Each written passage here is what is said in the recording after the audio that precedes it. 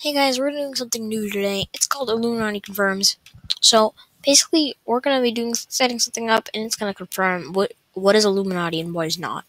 So I gotta set this up, and then I'll and then I won't talk. Okay, guys.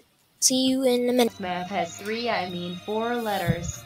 4 minus 3 is 1 so math could indeed be Illuminati. Let's get more reasons. Math is hard. Hard hard also has 4 letters. Shit also has 4 letters. They all describe math.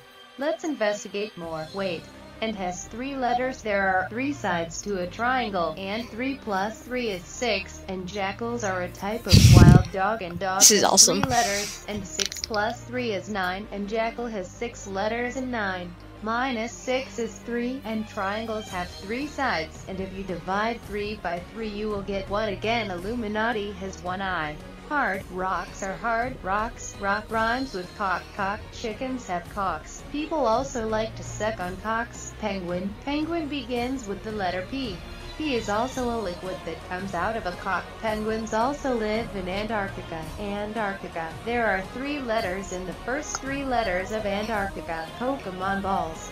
Ball has four letters and 4 plus 4 is 8 divided by 2 is 4. Wait a decade. Aha, maths. Mun-baked cookies. Cook is the root word in cookies. Eyes is a suffix. Suffix has 5 letters.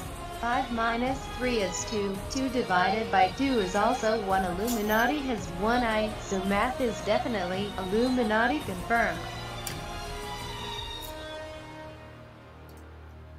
That was amazing. I will see you guys next time, and bye.